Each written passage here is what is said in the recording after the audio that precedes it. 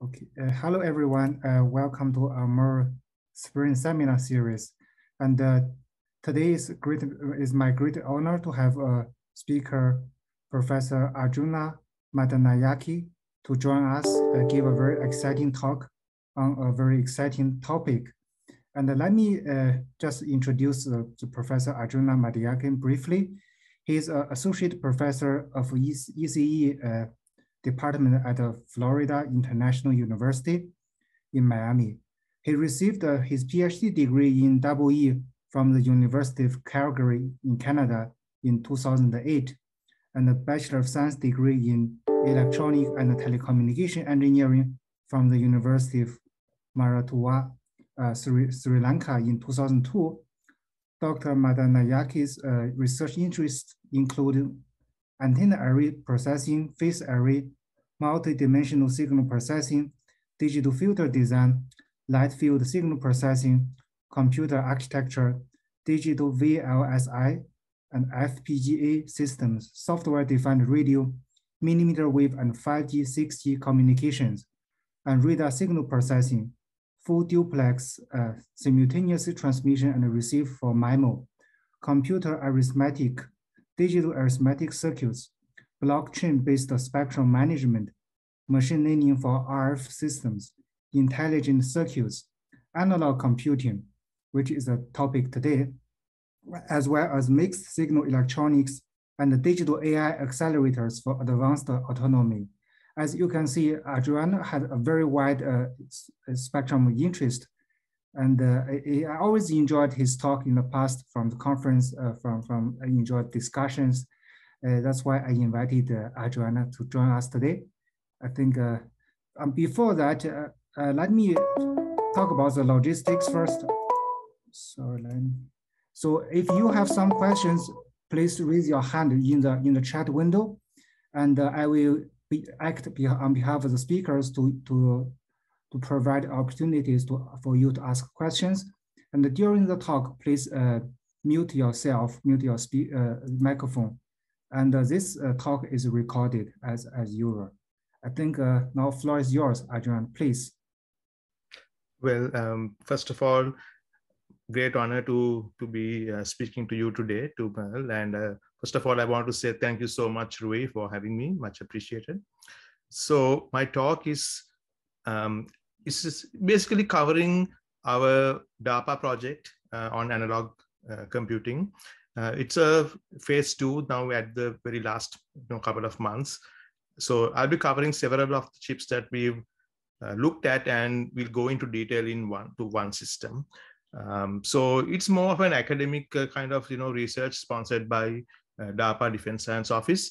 So so we've explored going back to analog for doing certain special classes of computational problems.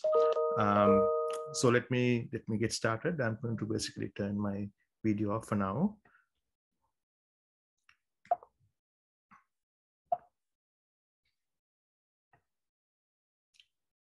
Okay.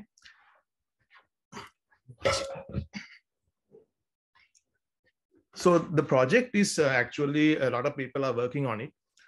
Uh, several PhD students, collaborators, and uh, people from industry. So first of all, I just wanted to acknowledge their contribution and say that you know without the teamwork from many people, uh, it is uh, very difficult to do this kind of project. So thank you to everyone in the team. So I will begin by a very short background on analog computing, where all this is coming from uh, in, a, in a very brief sense, and then give you an overview of some of the stuff that I talk about. In particular, we'll be looking at the computation of partial differential equations or PDEs uh, in a spatio-temporal computational grid using analog techniques. So the favorite example, uh, at least for today, would be uh, finite difference time domain in analog for, for doing simple computational electromagnetics problems uh, dealing with Maxwell's equations. I'll also talk a little bit about some other types of PDEs, especially nonlinear PDEs, uh, for exploring things like gas dynamics. So the circuits part of it, uh, we'll go through the math, some of the algorithms, and then I'll talk in detail about the various approaches that are present for mapping these mathematical operations into CMOS uh, chips. Give you some results. We'll also talk about a little bit, um, not, not, not a lot of detail, but uh, a little bit about analog computing in the discrete time domain. At the end of the talk. This down. One second, please.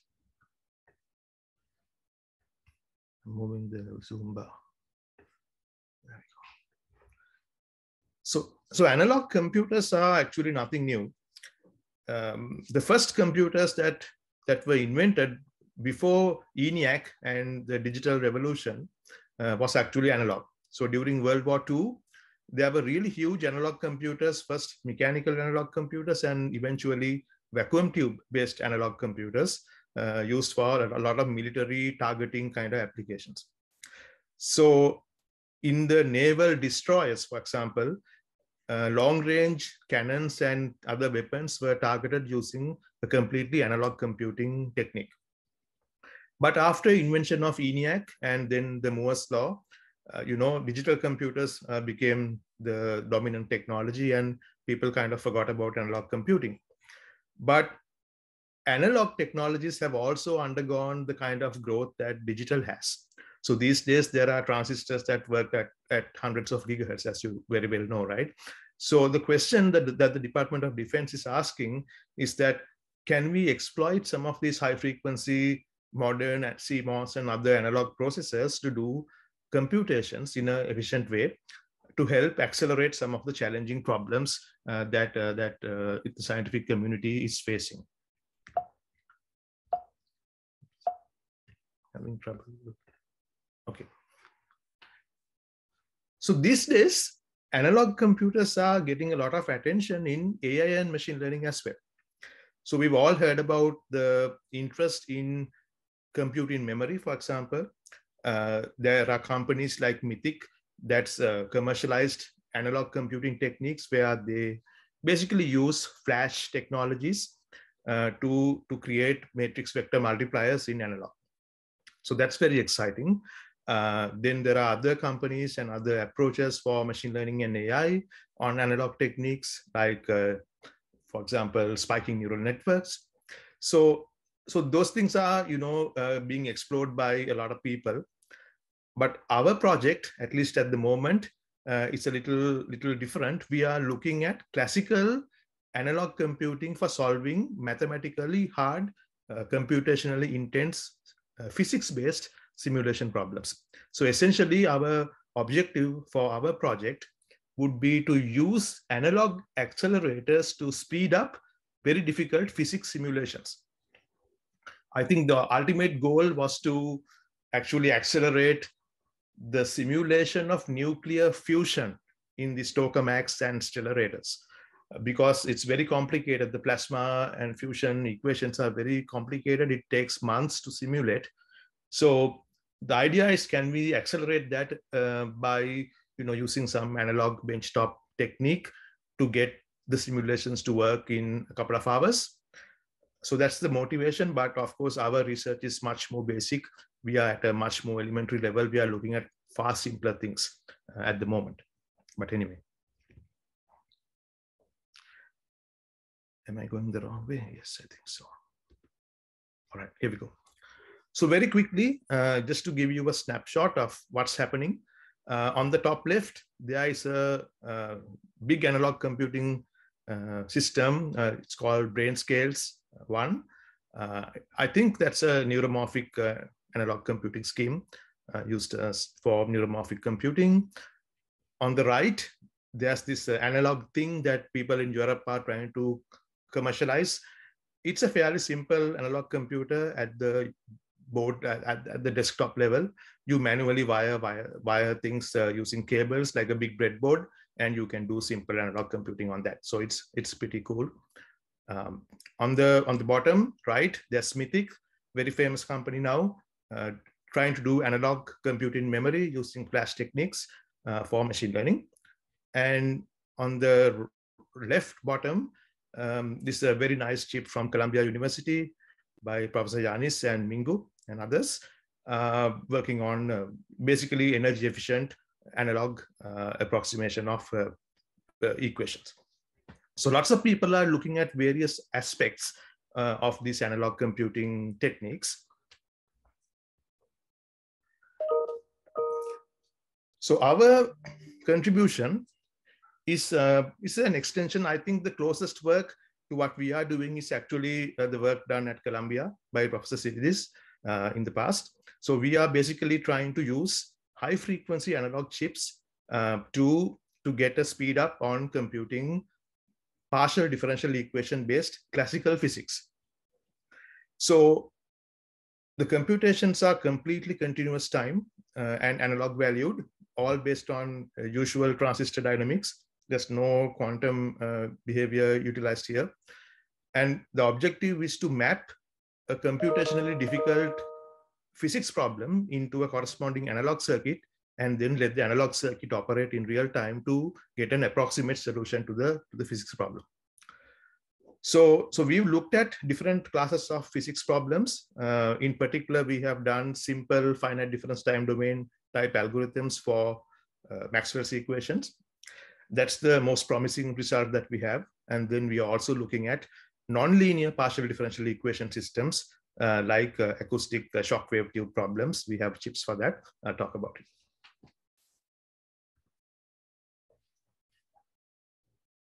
The analog computer that we are looking at is an integrated circuit.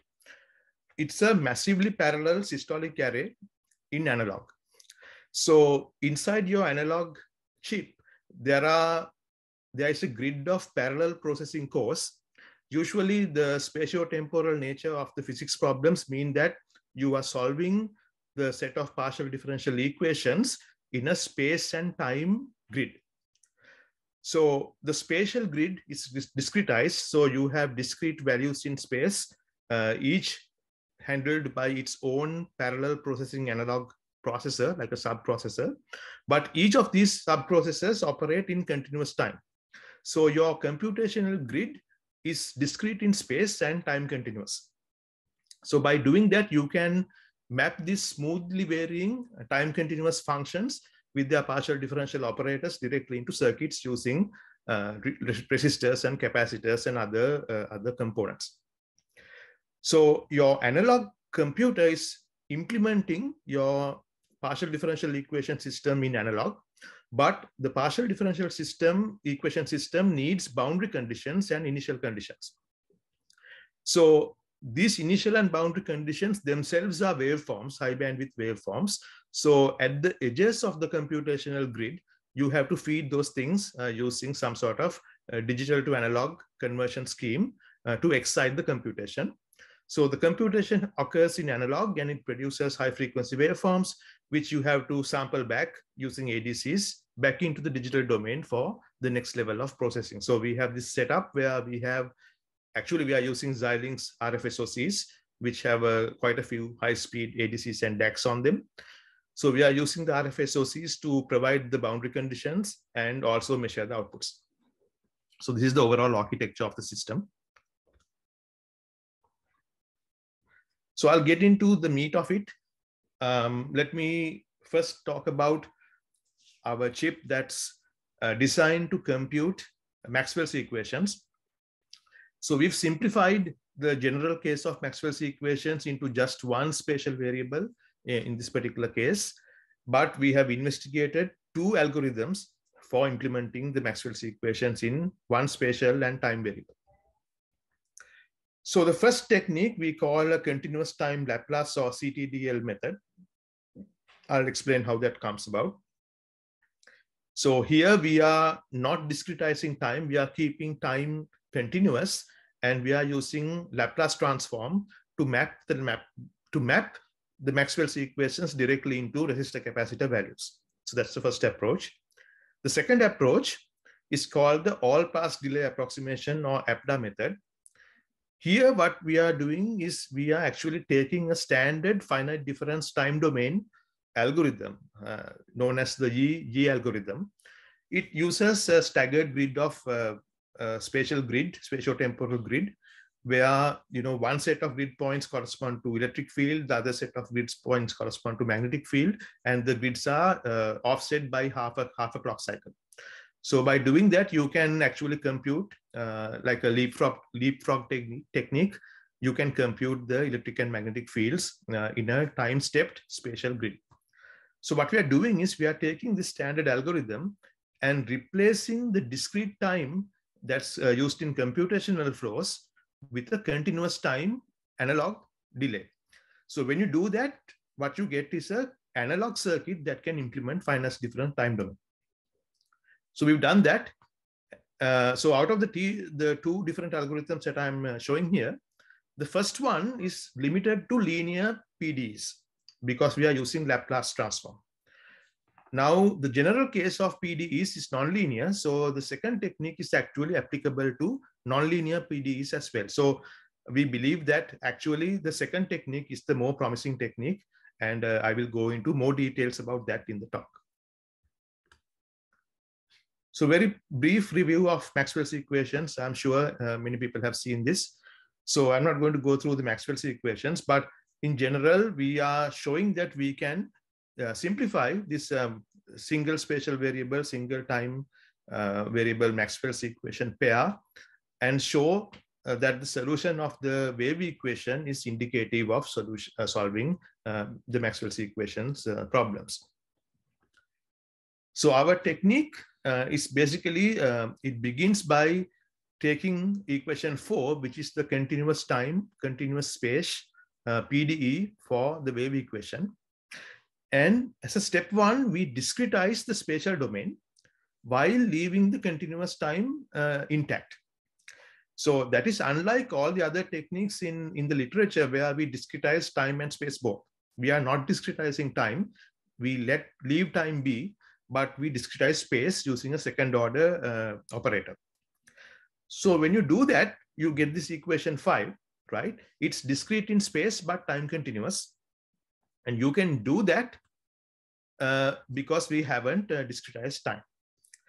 Now, I won't go through the math details here, but we can take a Laplace transform along the time direction.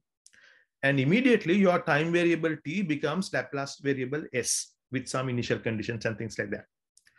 So with a little bit of algebra, what you can do is you can get this equation 8, which is like a differential operator. You are computing the output at one spatial place location based on the values of neighbors, but it's also got a Laplace component to it.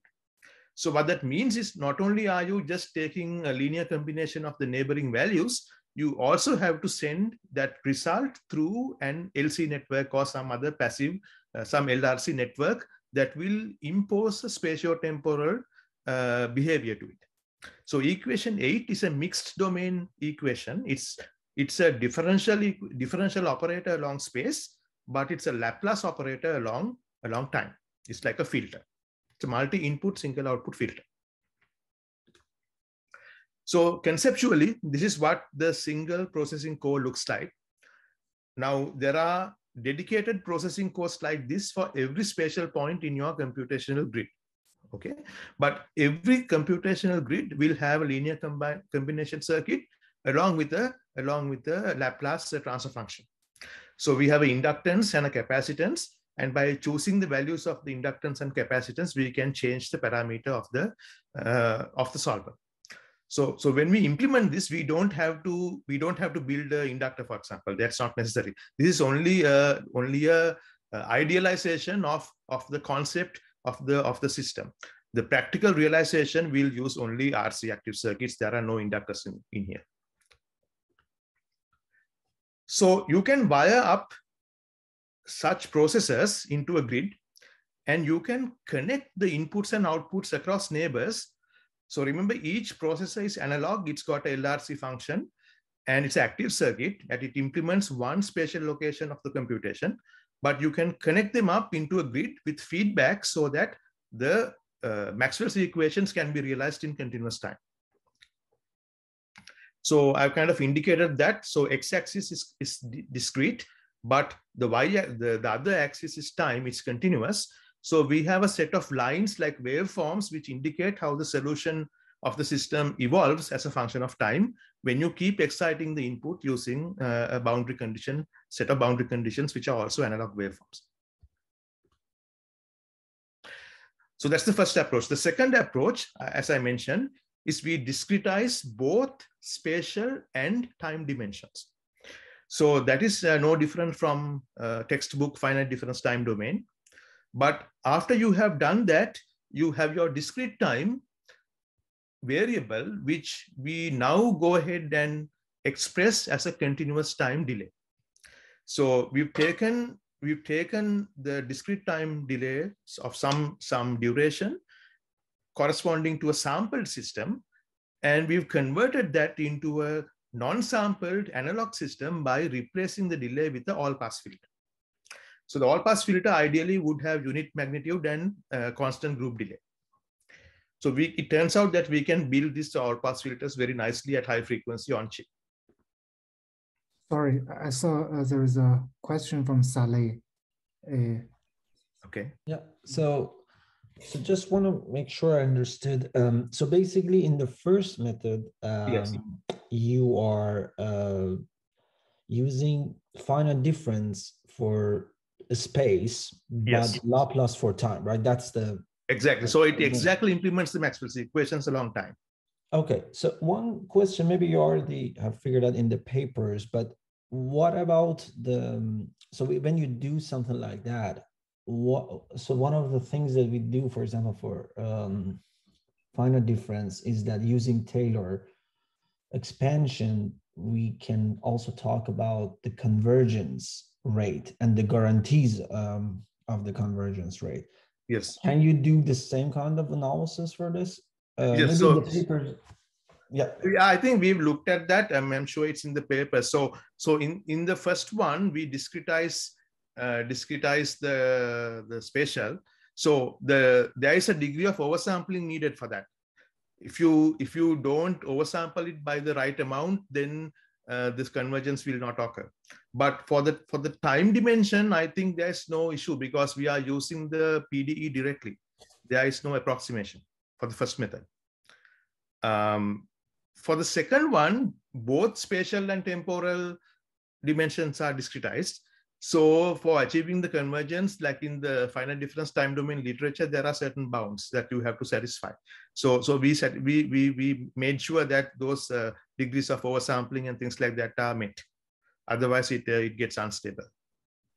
And, and uh, oh, okay, thank you for that. But um, sure. also, if you want to, so here you used um, finite difference, uh, yes. but I imagine you can do uh, finite element or yeah. finite volume as well for this space, right? I mean, th that should not be. You can for the linear case. Sorry? I don't know whether you can do it for nonlinear problems. Oh, okay. So for at least for linear case, you know you can do finite volume, finite element. But yeah, so we have another algorithm where we actually find the Fourier transform along space. I see. Okay. And and uh, keep time constant, and that's a mixed domain technique. We we looked at that, but we haven't made a chip for it. So because I of see. that, we I am not talking about that today. But okay. yeah, you're right. All right. Okay. So basically, at least for linear, it does i mean you can play with a lot of spatial um, uh, discretization but for nonlinear at least at this point it's not clear to you how exactly. Yeah. Yeah okay. i mean from, from what we've learned in the literature for pde solving which is very extensive is that nonlinear systems are basically done in the time domain. I see. Um, okay. Thank you. but you know I, i'm not an expert at that but that's my understanding. Thanks. Yeah sure. Thanks. all right. Thank you. So so again so now we are trying to in the second method, we are discretizing the time domain also. And everywhere we have a time delay, we are replacing by first the Laplace version, where the time delay is re replaced by e to the minus s tau, standard time delay, right? And then it turns out that there's a finite order uh, polynomial approximation of e to the minus s tau uh, using a third order uh, all pass filter. So, so we've done a, quite a bit of work on that in the past to on how to build wideband delays in analog. Um, and this phi s that I shown here is actually an all pass filter on the on the chip. So it turns out that we can approximate to a very good, good uh, uh, level this e to the minus st, which is not realizable exactly, using a cascade of first order all pass filters. Usually three first order all pass filters back to back is good enough to get a pretty decent uh, approximation to a wideband delay. So we are actually building the all pass filter as an approximation as a cascade of three first order all pass filters, if I remember correct. So we went ahead and built the circuit. So a little bit about uh, comparison. So we wanted to see how close we could get uh, to a software-based solution using finite difference time domain and, uh, and our analog technique. So what we did was we, we decided on the time delay that was needed and we implemented the simulations in code and in analog using the same parameters. So all of the simulations that I talk about, whether it is FPGA based, C++ based, CUDA, GPU based or analog, all have the same values of time delay. And we define some metrics uh, about you know how precise, uh, how close the answers are going to be against the software reference and the analog.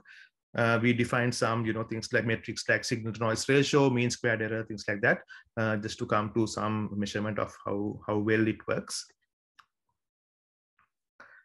So then we also simulated some standard simple uh, like baselines, uh, radiation boundary condition, Neumann boundary condition, and Dirichlet boundary condition uh, for single spatial variable and continuous time. And we kind of, you know, tweak the circuit so that we get within a reasonable level. Of course, the analog has noise and other problems, so you will never get to an exact solution, but you could make it uh, pretty decent depending on how much error you can tolerate in the final application. But uh, generally speaking, we could tweak the cadence uh, circuit so that at least under simulation, it was, it was good.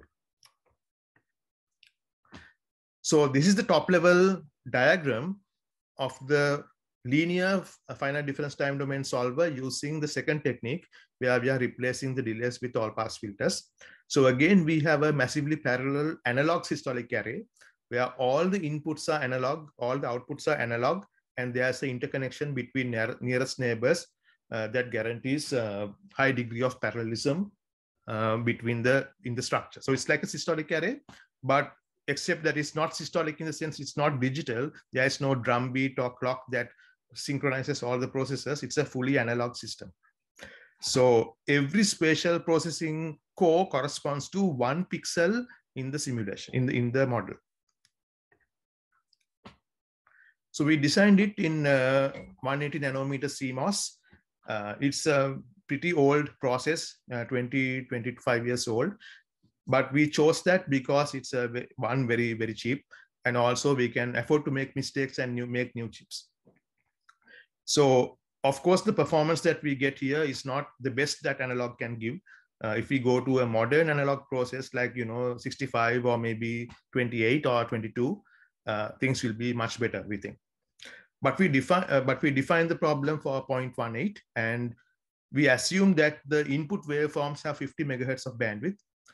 The circuits themselves correspond to a finite difference time domain delay of 1.6 nanoseconds uh, and um, the individual processors are built out of uh, very high bandwidth op amps uh, on chip having gain bandwidth product of about uh, 600 megahertz a little bit more than, more than that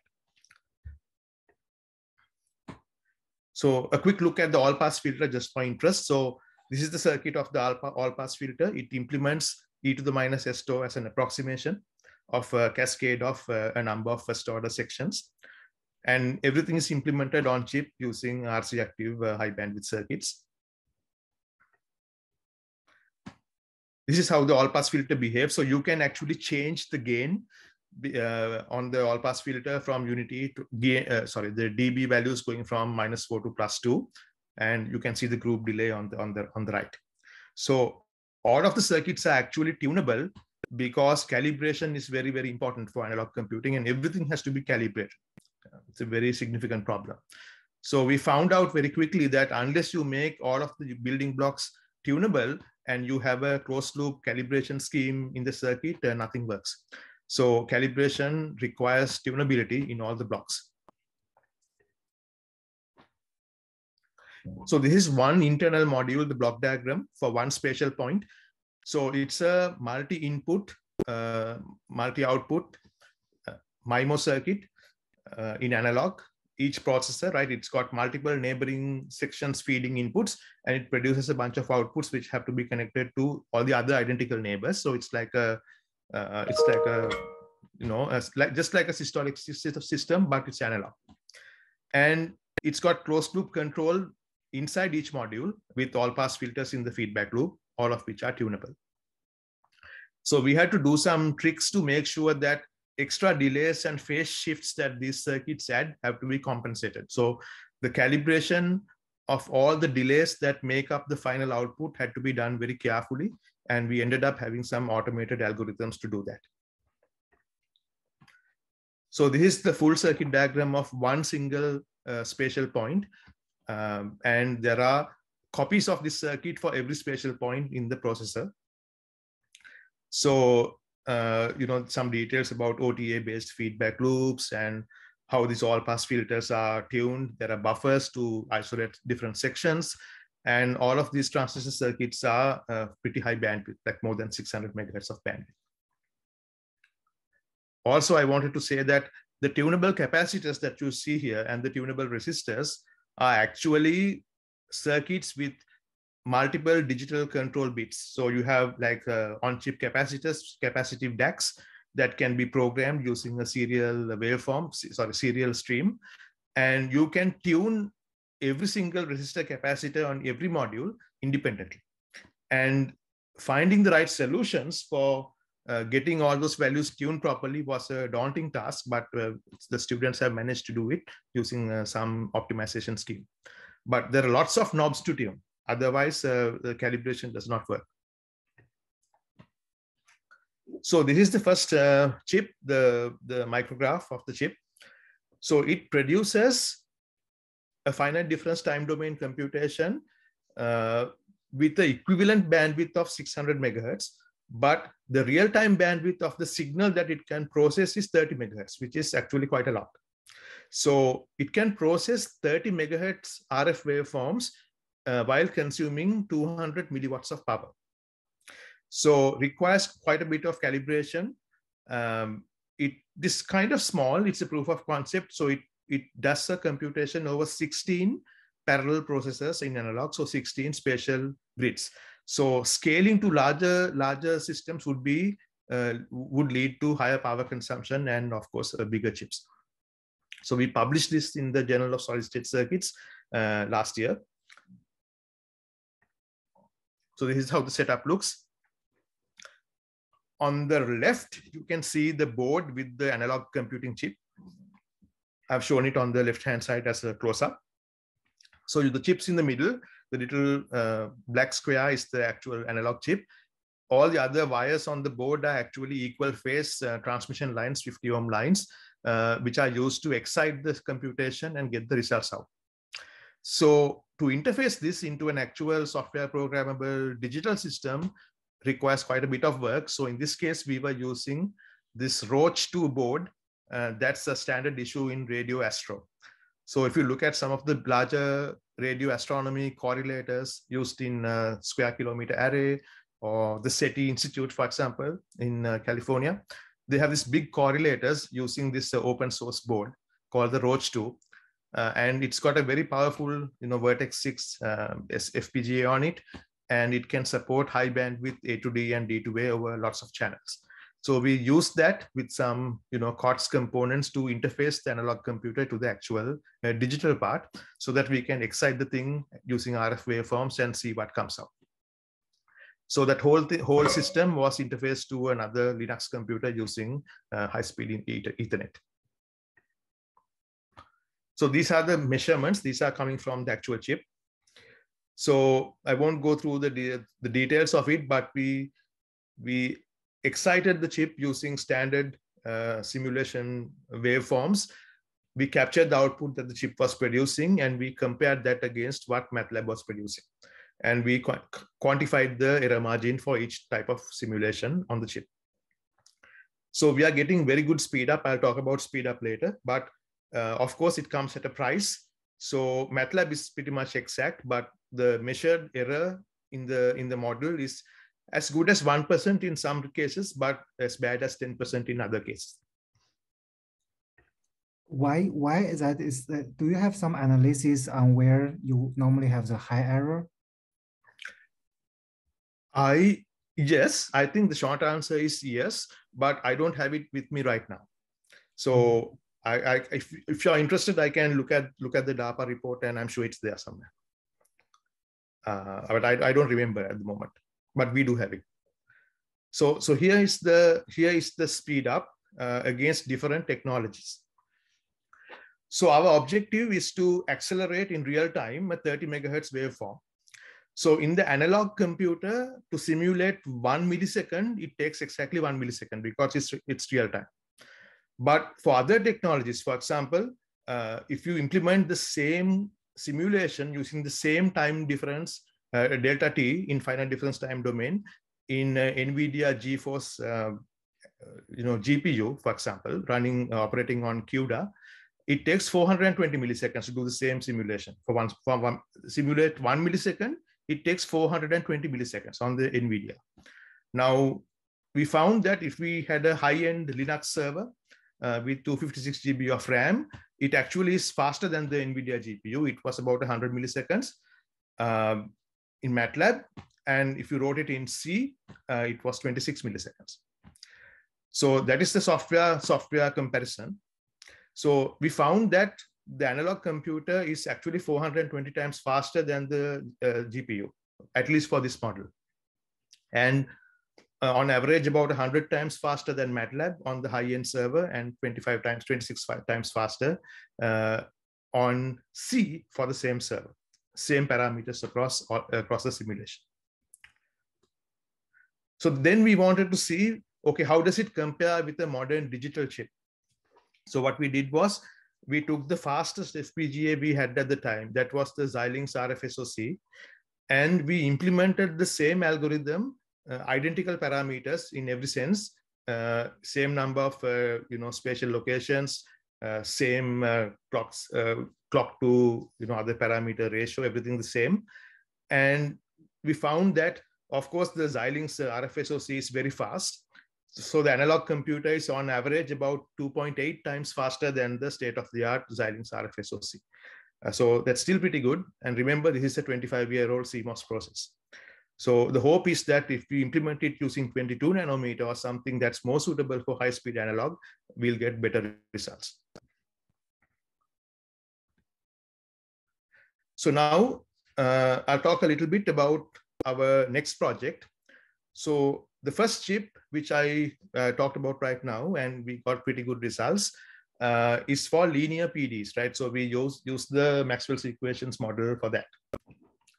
So as part of the second project that we did at FIU, we wanted to extend the simulation into nonlinear PDs. So, so we came up with this uh, toy problem where we have an acoustic shock wave tube where you have some nonlinear PD behavior. So the solver, it's a, it's a you know a conservative system uh, known as conservative system in physics. There are nonlinear operators uh, called the flux term and the source term. And there is a nonlinear differential equation that relates different spatial points across spatial and time dimension. So it's quite a bit of math there. Uh, we are using uh, as a starting point the solver known as uh, MacCormack scheme, but we implement the MacCormack scheme for this nonlinear PDE using uh, analog in continuous time. So again, in the MacCormack scheme, there are finite time delays. We replace the finite time delays using analog high-speed all-pass filters. So this is how the circuit per pixel looks like, per, per processor. So spatially discrete time continuous or SDC uh, TC equations in nonlinear mode. So there are nonlinear blocks that model the flux and the source terms. Uh, there are several variables that you have to keep track of. And to cut a long story short, we implement the whole nonlinear solving scheme, uh, lots of terms. It's a very complicated circuit in continuous time in analog. So one module actually looks like this, and there are 15 modules. So here the op amps are used to create the individual control systems. There are uh, variable capacitors shown here. Each of these variable capacitors actually coming from a capacitive DAC. So there's a lots of programmability um, in each module and there are multiple modules, all independent. So getting everything properly lined up uh, and calibrated was very difficult. Uh, so we have got some success on that, uh, but it could have been better. So I'll, I'll talk about it soon. So let's look at the complexity of this. So this is the actual nonlinear solver chip that we have just finished testing. So there are 15 spatial grids and every grid uh, has analog processor. So this processor also, um, this chip internally has 450 RF op amps, 450 all wired together in one, one, one single spatiotemporal nonlinear feedback circuit. So getting that stable and biased properly uh, was uh, very challenging, but we have got some success with that. Uh, so, so we have this analog chip and then we use the Xilinx RF SoC this time uh, to provide the boundary conditions for this acoustic uh, shockwave tube problem and the RF SoC also to get the outputs. Chip operates at 1.8 volts, uh, again, 180 nanometer CMOS. So unfortunately, when we were laying out the chip, uh, we made a little mistake in one place. We forgot to put one via. So only half the simulation grid was working, but uh, we have results for that half of the simulation grid. So to kind of summarize, uh, we have continuous time analog uh, high bandwidth computation. It's a compromise between power efficiency uh, accuracy uh, and you know the pain you need to go through to get it to work so you know i mean it's a scientific research so we've kind of had to go through our learning curve for this but we've learned that for certain types of models for example like um, the finite difference time domain solver for linear PDEs, it works very, very well. But the more nonlinear and more difficult the solution, the more sensitive it is to various numerical errors and things like that. So it becomes uh, exponentially more difficult to do nonlinear solutions.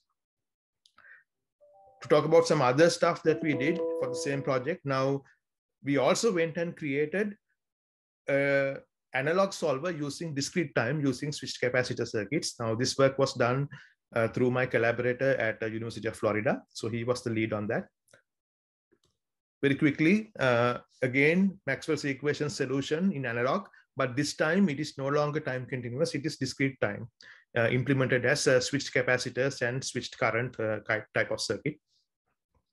So here we got much better accuracy, but of course now it is uh, run by a switched capacitor clock. So everything is slowed down by a large fraction. So it's not very fast.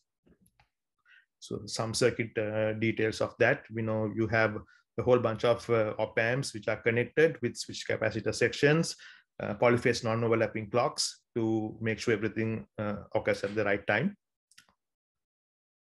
This paper was also published in uh, Journal of Solid State Circuits as a different paper. So here's the setup for that. So again, this is the discrete time version, uh, 180 nanometer CMOS chip uh, we used some new types of sigma delta ADCs to improve the SNR. Uh, of course, this chip works very nicely, but it is quite a bit slower compared to our first chip, which was fully, fully uh, time continuous at RF. Some measurement results uh, to show that the chip works. Uh, I'm not really going to go through details of that. So this is just a chip uh, photograph of the four chips that we built as part of our DARPA project. So on the left, we have our nonlinear PDE solver. Uh, in the middle, uh, the discrete time uh, PDE solver. And on the right-hand side, we actually had to do two chips for the finite difference time domain. Um, so uh, some of those chips are shown there. All right, so in conclusion, uh, analog computing was on chip was was explored for accelerating scientific computing problems uh, defined by nonlinear and linear partial differential equation systems. we got mixed results for some types of problems. For example, the linear problems, we got excellent speed up. But for nonlinear systems, we found that it was exponentially more difficult to actually make the systems work. So we got only partially working, uh, partially acceptable results, which we haven't published yet. But uh, we learned a lot of valuable lessons on how an analog computer actually behaves, how sensitive, where, where are the sensitivities for bias voltages, uh, how much error can you expect from a nonlinear solver when you have quantization in the weights uh, that you are implementing? Uh, how sensitive would it be for errors in the time delays? How sensitive it is to gain? How sensitive it is to the power supply voltage? All of those things were thoroughly explored, and we got a very good understanding of how some of these most uh, more complicated nonlinear analog solvers behave. So we are at the we are at the you know at the end of the project so our main takeaway is that yes, analog computing can be used for for you know accelerating certain types of uh, scientific problems, especially simpler problems dealing with basic physics, which are hopefully linear, and you want to get a solution that is much much faster than what GPUs or FPGAs can give at a much lower power consumption. So basically edge computing type of applications uh, where the problems are not too complicated, but power consumption and speed are of paramount importance, then analog computing is probably okay. Uh, more difficult to get it to work for extremely complicated physics problems, uh, which require a lot of precision and uh, that kind of uh, behavior. So, so again, uh, it's not a magic bullet.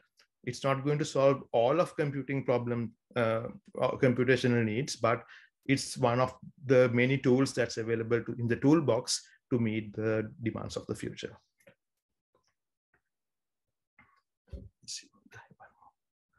So quick view of the publications that came out of it. We got uh, several transactions on uh, circuits and systems papers and two papers in uh, Journal of Solid State Circuits. Some more conference papers. Wanted to thank DARPA's Defense Sciences Office uh, and uh, the original program manager was Dr. Vincent Tang, who funded us. So thank you. Uh, thank you to Oshus Technologies, which is the prime sponsor for this STTR award. I want to thank Rui and MERL for having me give the talk. And also thank you to my second PhD student who is currently in the group uh, for, for all her help and all her work on the slides. Thank you so much. So Rui, uh, I'm ready for questions. Sure. Thank you very much. Uh, thanks for, first of all, thank you very much for sharing your first-hand uh, direct experience in this emerging area. We know sure. that computing, as you said, is, is not new, but uh, recently it does uh, pop up again to especially applied for machine learning applications. Yes. Here is a very scientific fundamental uh, uh, adventures that you shared. So I saw we have some questions from the audience. Sally, you want to go ahead? Okay, thanks uh, for the talk. Maybe my first question was a little bit on the uh, on the numerical side, on the convergence rate and everything. Uh, yes. But my second question is about okay, so uh, there are when it comes to PDE, we know we cannot talk about the generic uh, one uh, one tool fits all the problems kind of thing. Right.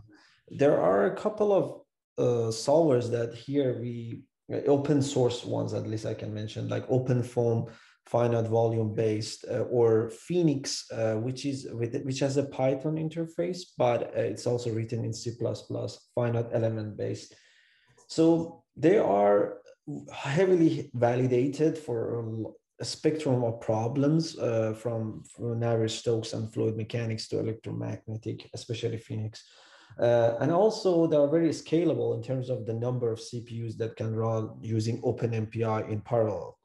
So I think one of the directions of this research, the, your, your research would be good if you can mount such solvers. I understand that you mentioned that uh, it would be tricky for finite volume, finite element, but it would be very interesting to mount these uh, open source solvers into a hardware system like the one that you described. Do you think that, uh, what, what do you think about uh, a future of such implementation? Uh, what are the, what, what do you I, think? Of? I mean, I, I think that's very interesting. uh, definitely the, the issue that we faced with this particular examples were that was scalability. So, so we are using one pixel, one solver per pixel, essentially one voxel. So, so we can at best do a couple of hundred uh, solutions or voxels at a time, but you have to somehow reuse that processor multiple times to do a large simulation like the ones that you talk of in the software framework. So, so scalability and how would, would be an issue when we are trying to uh, trying to you know use that let's say the analog accelerator as a processor for some of these frameworks. Is that what you had in mind? Maybe, um, but definitely like I I don't think we are ready to compare the solvers that we are talking about in analog with the kinds of stuff that you mentioned because the, the, the solution domains that we tried out are so tiny. Uh, they are basically experimental, you know, circuit, little circuits that do a tiny part of a very large grid, right? So is it really comparable to something like uh, Navier-Stokes on, on software server? Probably not at the moment. But, you know, going from this to that is such a large step. I'm not exactly sure what what would be the next step to go there or whether you can go there. Um, but definitely you know it should be it can be integrated at some level. But when that should occur whether it is the next step i'm, I'm not sure. You, you see i mean my, my, my problem is that the circuits that we tried are very tiny i mean their spatial grids are 15 16 uh, spatial locations but the solvers that are in the open source community used by serious computational solve, uh, you know, people are very, very large. So, so how do you go from this to that? It, it's not a one-step hop to go from the kinds of problems that we are trying out to those kind of problems. Um, yeah, I, I understand. Yes, I just want to see your perspective on it. Yeah, thank you. Yeah, so uh, if audience have questions, feel free to raise your hand or directly ask the speaker. Uh, I do also want to get your opinions on the economic side. I mean, the digital uh, chips has been very successful because you can produce uh, produce in massive uh, at low cost productions, right? But the, yeah. the, analog solution, as you as you just pointed out, is is basically targeting a quite a niche market. I mean, how how can we make this thing successful uh, from uh, economic perspectives, is any any comments, any thoughts on that? I mean, I think the, the, the economic scaling that comes with digital will also apply to to this. Like, I mean, the, the examples that we shown here are actually not products, right? I mean, these are uh, essentially experiments. But remember, we were doing 180 nanometer CMOS, so that is very low cost compared to other things. I mean, I, I think even TSMC is now now uh, retiring that process, if I'm if I'm right. not mistaken. Uh, so, but if you take the next one, let's say 90 or 130, we are still good, and that's pretty cheap. So, if you can find an application where it's warranted, I don't think uh, it has any disadvantage compared to digital as such.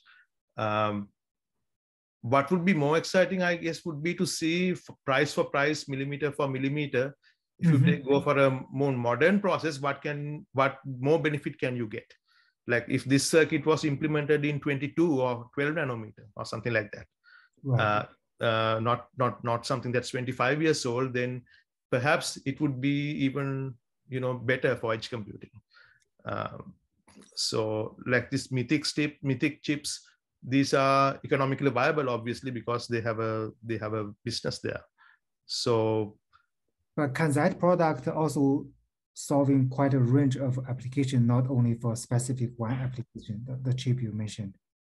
Yes, I mean, it's basically a matrix vector multiplier. So it, it can do linear algebra, which is great.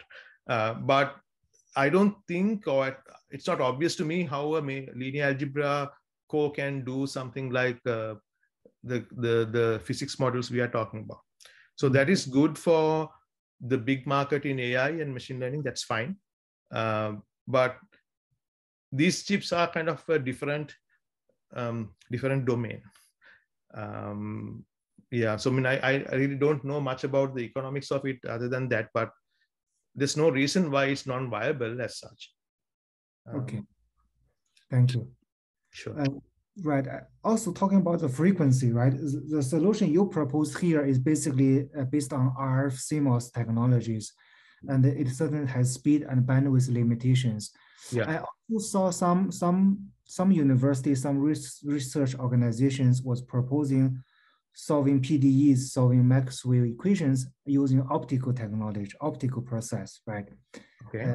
Uh, uh, uh, I think a group maybe from from UPenn, uh, I forgot the name, but uh, I think. Do you think uh, your your solutions, your your arithmetic equations can also be scaled up in terms of frequency?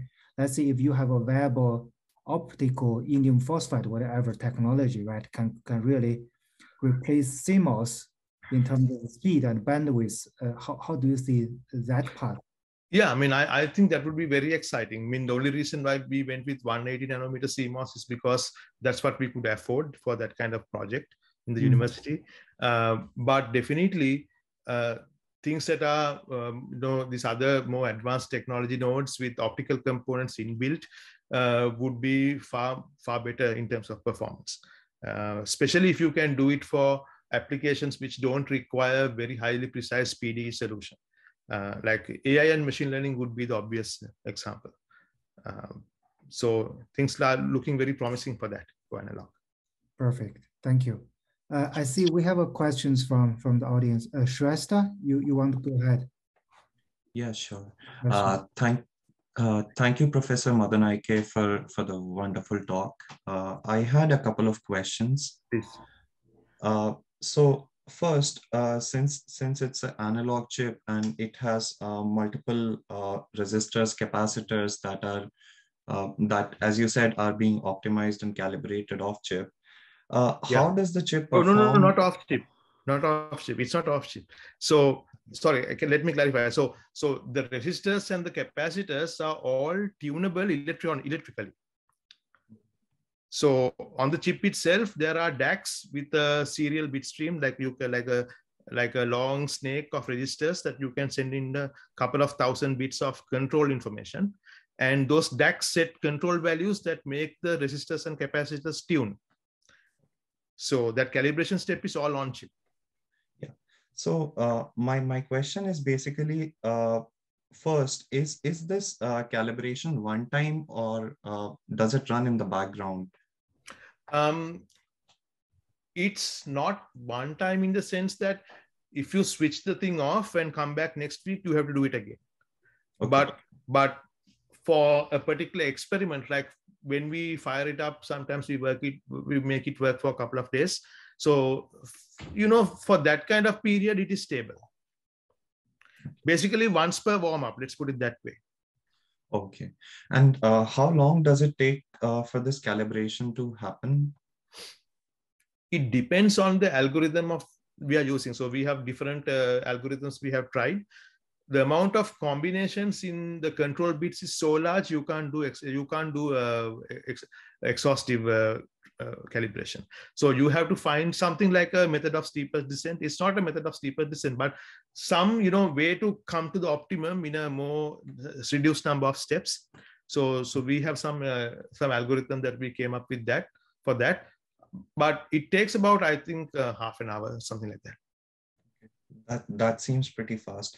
Another question so since it's an analog chip it it must have some uh, some limitations because of the process uh, and uh, temperature and voltage variations.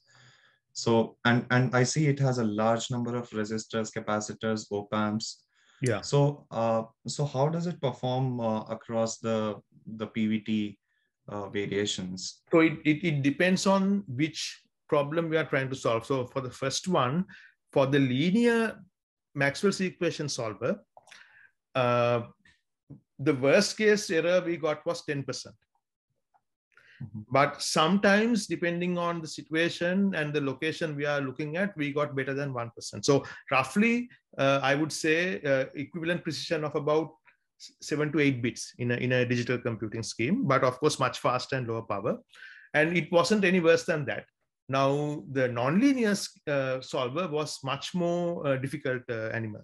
So So we had a lot of trouble with that. And in fact, after getting the chip fabricated and and and bound wire bound, it took like nine months just to get it to work, just to get the calibration and all the other things reasonably okay. So depending on the mathematical model that you are solving, uh, for very nonlinear solutions, solution schemes, it becomes horrendously uh, more sensitive, much more difficult, uh, to the point of impracticability, impracticability sometimes. Uh, so, so it really depends on on the model. Uh, it's a function of the model. Uh, and and uh, one more question is uh, so you said that the ADCs and the DACs are being used for from from FPGA. Uh, so how much uh, offset would it create if if we were to bring it on chip completely in terms of area and power? Mm, I don't know um, because you know the the reason that we have the ADCs and DACs is only for test and measurement. Now, if you embed the processor in some sort of edge computing application, for example, you are going to look at a radio frequency solver of something that's coming through a MIMO antenna scheme, and you want to model what's happening in a little enclosure, for example. Let's say take a typical example, and, and you want to predict something that before it happens very fast. So then your receivers would directly wire the IQ waveforms at let's say 30 megahertz bandwidth into your processor, and everything would happen in analog. And the final output will also probably go to one or two DACs, uh, ADCs. So, so the practical realization of the circuit uh, is not the same as the test and measurement setup that we, we have now. Uh, all those big FPGAs and the ADCs that we have sticking out are are a result of a need for very precise measurement of what's happening. So, so it's a little difficult to say, uh, So um, we just chose the most precise, most well-calibrated ADCs and DACs that we could find. And that's coming from the radio astronomy community, right? So it comes with the price of power consumption. Mm. Yeah. Okay. Thank you. Sure. Yeah, just to remind people, uh, we scheduled one hour and uh, this is still over uh, discussions. If you have some other meetings, feel free to to depart. And uh, otherwise, uh, people who wants to hang out here and uh, ask other questions with the professors and talk about other topics, feel free to, to stay here and we can we can chat a little bit more, few minutes more. Uh, uh, Professor Arjuna, I want to, I mean, we saw a lot of analog compute, uh, computations coming back is basically targeting AI applications. In my view, a lot of applica applications uh, was basically solved to competing with GPUs to, to bring the in-memory computing to, to break the memory wall and power wall to yeah. enable application on the edge, right? That was yeah. big trend here. But yeah. you you kind of take a little bit uh, uh another path of right. pursuing this this uh, this uh, uh, research topics. So, but what, what is your view on applying analog computing for AI applications, for the edge applications? Because we see a lot of market potentials there, right? Yeah, I mean, I think it's very promising actually. So, I mean, I, I don't know much about the in-memory computing aspects uh, people are talking about, but in general, like if we were supposed to level, give... yes I, I, think at high level there's innovations on the on the material level right on the transistor level on the memory levels yeah uh, architecture levels of, course but uh, but uh, but there seems to be a lot of research opportunities there too oh yeah oh yeah i mean i mean even if we take an old process like 180 and just make matrix vector multipliers or convolutional engines or transformers or something like that in analog. Mm-hmm. Actually, when it comes to circuit design, that is orders of magnitude easier than trying to solve a nonlinear PDE. Uh, because matrix vector multipliers, in fact, are very simple operations. True. So, so I think uh, I think there's a lot of potential uh, in analog including neuromorphic uh, and other approaches which are not necessarily in memory computing. Um, I mean, what I'm trying to say is that in-memory computing is very interesting, but that's not the only approach for analog computing for AI. There are so many other things that's that right. can do. That's right. Uh, neuromorphic, uh, certainly, as you mentioned, Intel and I think other IBMs have been working on that uh, recently. Yes. Uh, even with with uh, with commercial chip available. Right, right. So I mean, we are trying to do some of that. So now the future, we are trying to go uh, a little bit in a different direction. We are trying to do radio frequency machine learning in analog. Mm. So for 6G and other, you know, next generation future G systems where baseband bandwidths can be 10 or 20 gigahertz, uh, you are not going to do that on a GPU. So, uh, so can we come up with very fast analog uh, radio machine learning systems, RFML, That's that can look for modulation recognition and things like that in analog. Right. Uh, but but end of the day, you still need a A to D to D to A converter to inter uh, to interface with the digital world, right? But how, how, that part can be resolved? So I mean, I mean, let's say you are doing an inference. So uh, your decision rate is usually much more slower than the input IQ sample rate. I mean, to, yes. to, to, give you a simple example, let's say you are going to do modulation recognition and you want to have a logic high when you detect uh, uh, 64 QAM. Mm-hmm. It's a random example. So, so your input stream might have 10 gigahertz of bandwidth, mm-hmm. But your modulations might change every, you know, every nanosecond or every every 10 microseconds. Mm-hmm. So your actual ADC rate that's looking at the decisions are much slower than the input rate. So it, I, I think that's fine. That's right. You do not need to make a decision for each samples, right? No, you don't. No, you don't.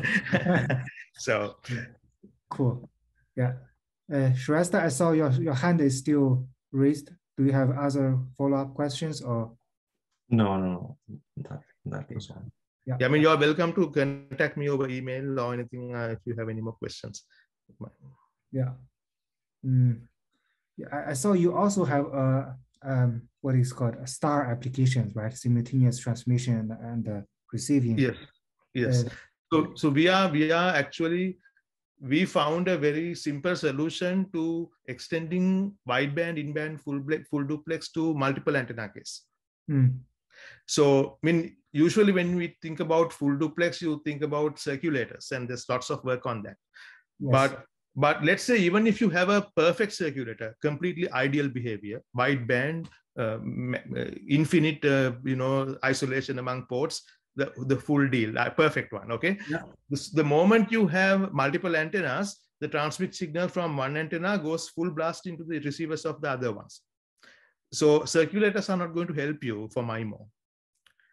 So that problem of inter-antenna coupling in MIMO is very difficult. And in fact, DARPA has a entire program just for two antenna case. Mm. So, so we have a simple solution based on symmetry. Uh, we, I mean, I can send you the paper on that. Where at least for the base station side, we can uh, actually solve that problem uh, using simple techniques. Mm. It's not it's not viable at low frequencies from the handheld, but on the base station side, you you can you can get a nice result. So so we are trying to extend that. Yeah, it's also in general, I mean, resolution is also part of analog computation, analog means of, of solving problems. Uh, it's actually RF, so it's uh, implemented in the microwave domain. Um, right. But it's yeah, it's analog. You can think of it yeah. as analog solution. Right, right. So that's very very nice because I saw a lot of 6Gs that's become one of the enabling technologies, right? Because of uh, frequency spectrum limitations, the, the full duplexing, in my view, is, is one of the uh, key technologies for 6G to, to be right. Our solution basically operates by having a second copy of the antennas in a shielded box. So all of the mutual couplings from every antenna to every other antenna is replicated in the, in the one in the box.